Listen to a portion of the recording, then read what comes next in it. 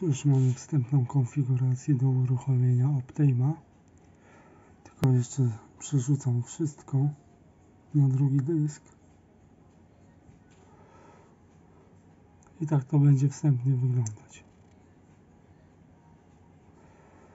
E, pokazało mi w Optimie, że dysk z systemem mam tak szybki, że już nie potrzeba go szybciej, jeszcze szybciej optymalizować, ale pozostałe dyski, które mam, to można. Wybrałem e, tryb RAID 5, który jest najbardziej optymalny, jak dla mnie.